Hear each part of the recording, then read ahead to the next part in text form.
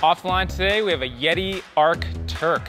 Yeti might be best known for their enduro dominating full suspension bikes, but they got hardtail in their DNA too. The Arc was actually one of their first models made all the way back in 1991.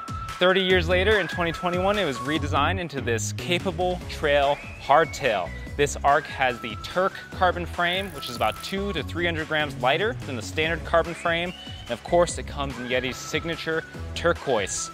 It's running a 130 millimeter Fox 34 factory fork, which gives it a nice and relaxed 67 degree head tube angle.